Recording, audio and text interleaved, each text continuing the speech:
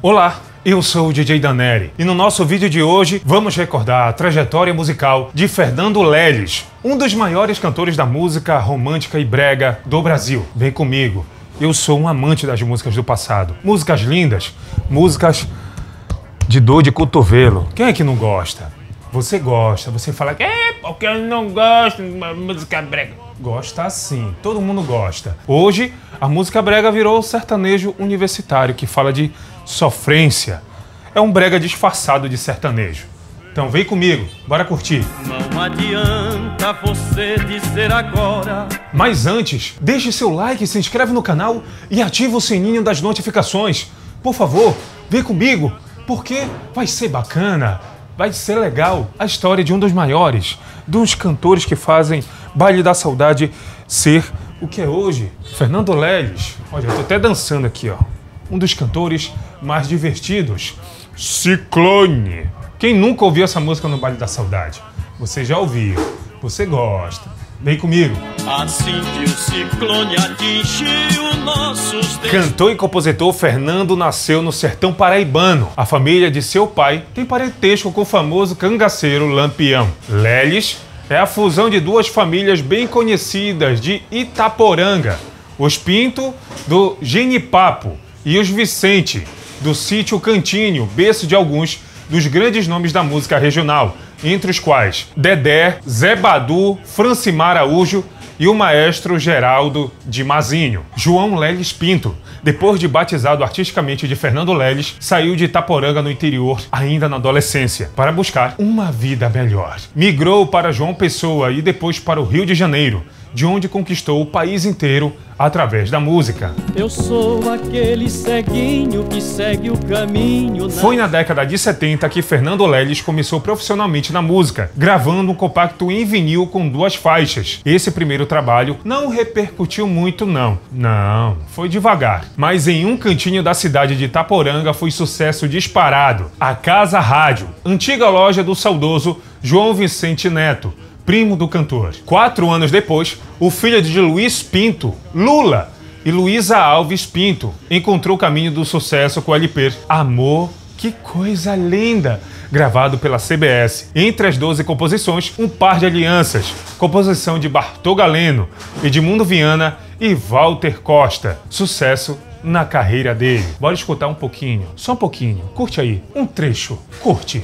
Vai. Eu não sei o que fazer com este par de aliança. O ano de 1984 marca a entrada de Leles no mercado musical com as suas próprias composições. Pela gravadora Continental, Fernando lançou o disco Tá Chovendo Mulher, que é uma gravação que rompe o romantismo melódico até então a marca principal do artista. Bora escutar mais essa música que é um clássico do brega. Vamos escutar.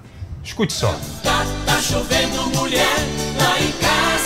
Nesse disco, ele mesclou diversos estilos como merengue, frevo e boleros, mas é com uma letra popular e bem humorada, Leles conquista o sucesso nacional com a música Ti Ti Ti Ti Ti Ti. Melô do Ti Ti Ti, uma das músicas bem executadas e bem tocadas no Baile da Saudade aqui em Belém do Pará. Essa música eu acho que é feita para aquela vizinha fofoqueira, aquela pessoa que gosta de se meter na tua vida, gosta de te, te dedurar, aquele teu colega que gosta de falar mal de ti.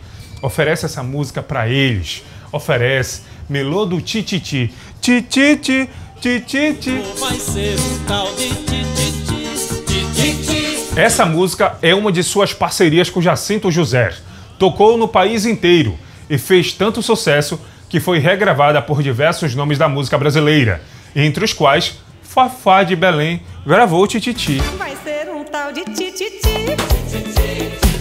A última vez que o cantor visitou Itaporanga foi em 1975. Foi rever os familiares, mas não poderia regressar ao Rio sem presentear seus conterrâneos com uma grande festa, um grande show. A festa foi no Atlântida Esporte Clube e reuniu centenas de itaporanguenses. Após emplacar sucessos, vieram muitos outros: Jesus e Madalena, Pescadora e Cadeira Vazia. E também Os Apaixonados, música feita exclusivamente para Leles pelo compositor Adelino Moreira, o homem que projetou Nelson Gonçalves para o sucesso.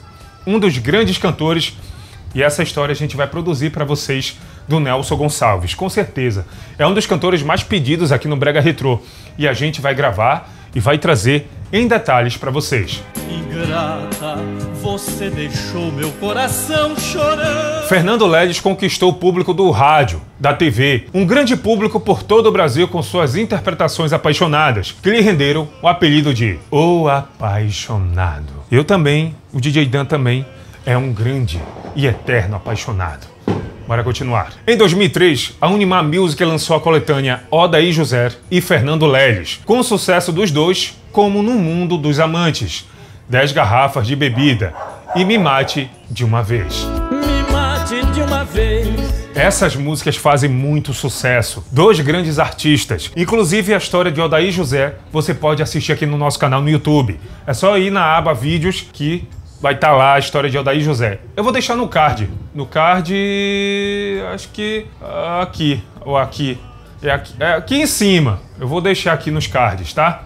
A história de Odaí José para você assistir até o fim. Uma noite, já muito tempo depois. Atualmente ele está com 75 anos e está esquecido pela mídia, menos por nós do canal Brega Retrô. Fernando Leles continua no Rio de Janeiro, em atividade musical muito discreta, mas sempre presente na memória de todos que conhecem a boa música boa. Eu vou ficando por aqui, gente.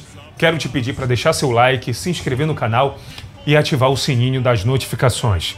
Deixe nos comentários o cantor que você quer assistir aqui no nosso canal, porque quem manda aqui são vocês, não é eu não.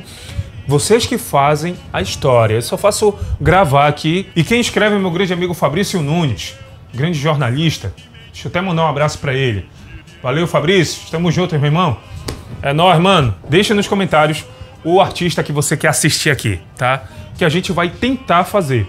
Porque tem muitos que não entendem o nosso projeto. Mas tudo bem, não tem problema não. O importante é que a gente homenageie o artista, que ele se sinta feliz, porque homenagem boa é feita em vida, não depois que o cara o cara vai embora, o cara falece. Homenagem tem que ser feita em vida, não é bacana? O cara assistir a homenagem que é feita para ele. Fernando Leles, saiba de uma coisa.